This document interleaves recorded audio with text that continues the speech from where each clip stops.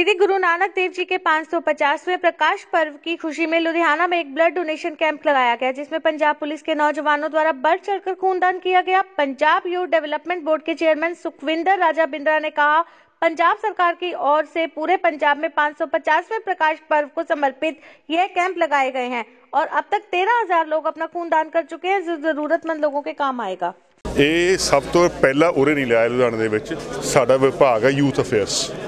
ਅਸੀਂ ਇੱਕ ਮੁਹਿੰਮ ਚਾਲੂ ਕੀਤੀ ਸੀ ਅੱਜ ਤੋਂ 2 ਮਹੀਨੇ ਪਹਿਲੇ।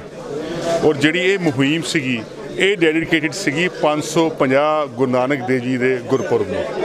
ਜਿਹੜਾ ਪੰਜਾਬ ਸਰਕਾਰ ਬਹੁਤ ਲੰਬੇ ਸਮੇਂ ਤੋਂ ਕਰ ਰਹੀ ਹੈ ਜੀ ਤੇ ਅਸੀਂ ਜੋ ਸਾਡੇ ਕੋਲ ਡਾਟਾ ਆਇਆ 13000 ਦੇ ਕਰੀਬ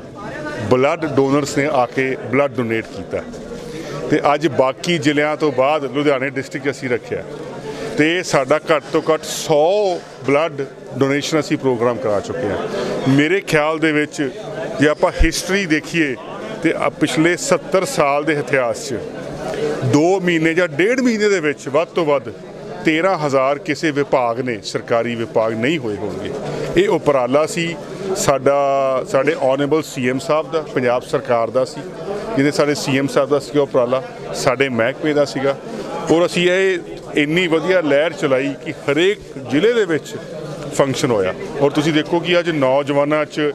ਇਸ ਗੱਲ ਦਾ ਕਿੰਨਾ ਉਤਸ਼ਾਹ ਹੈ। ਵੈਦਰ ਇੰਨਾ ਖਰਾਬ ਹੈ, ਬਾਰਿਸ਼ ਪੈ ਰਹੀ ਹੈ ਸਵੇਰ ਦੀ, ਪਰ ਫਿਰ ਵੀ ਇੱਥੇ ਲਾਈਨ ਨਹੀਂ ਟੁੱਟ ਰਹੀ ਜਿੱਥੇ ਬਲੱਡ ਡੋਨਰ ਲੋਕ ਦੇਣ ਆ ਰਹੇ ਤਾਂ ਇੱਥੋਂ ਪਤਾ ਚੱਲਦਾ ਯੂਥ ਜੀ ਦੇਖੋ, ਹੁਣ ਨਸ਼ਿਆਂ ਨੂੰ ਛੱਡ ਕੇ ਆਪਣੇ ਹੁਣ ਜਿੱਦਾਂ Bindra sahib youth development board ਦੇ ਚੇਅਰਮੈਨ ਹੈਗੇ ਨੇ, ਇਹ ਇੱਕ ਯੂਥ ਨੂੰ ਬਹੁਤ ਜ਼ਿਆਦਾ ਇਹ ਵੀ ਬਹੁਤ ਫਾਇਦਾ ਮਿਲਦਾ ਹੈ ਕਿ ਇਹ ਖੁਦ ਯੂਥ ਚ ਹੈਗੇ ਨੇ ਆਪ। ਕਿ ਹੁਣ ਆਪਣੇ ਯੂਥ ਡਿਵੈਲਪਮੈਂਟ ਬੋਰਡ ਵੱਲੋਂ ਹਰ ਪਿੰਡਾਂ ਦੇ ਵਿੱਚ ਅਸੀਂ ਜਿਵੇਂ ਕੋਈ ਕੈਂਪ ਲਗਵਾਵਾਂਗੇ, ਕੋਈ